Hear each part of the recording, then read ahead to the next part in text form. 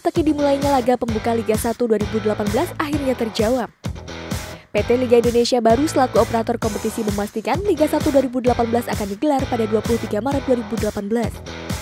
Kepastian ini disampaikan Direktur Utama PT LIB Berlinton Siahaan usai rapat pemegang saham PT LIB di Jakarta Kamis 8 Maret 2018.